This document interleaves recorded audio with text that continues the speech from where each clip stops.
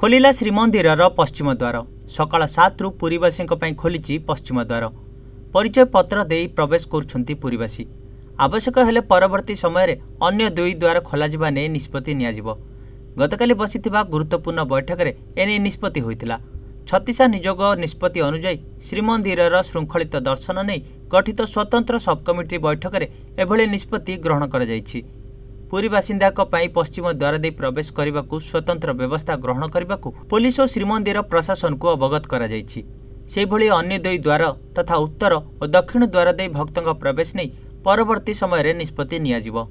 ଗତକାଲି ବସିଥିବା ବୈଠକରେ ପୁରୀ ଜିଲ୍ଲାପାଳ ଏସ୍ପି ଉପଜିଲ୍ଲାପାଳଙ୍କ ସମେତ ପରିଚାଳନା କମିଟିର ପାଞ୍ଚ ଜଣ ସେବାୟତ ସଦସ୍ୟ ଓ ଛତିଶା ନିଯୋଗର ଅନ୍ୟ ତିନି ବରିଷ୍ଠ ସେବାୟତ ସଦସ୍ୟ ଉପସ୍ଥିତ ଥିଲେ।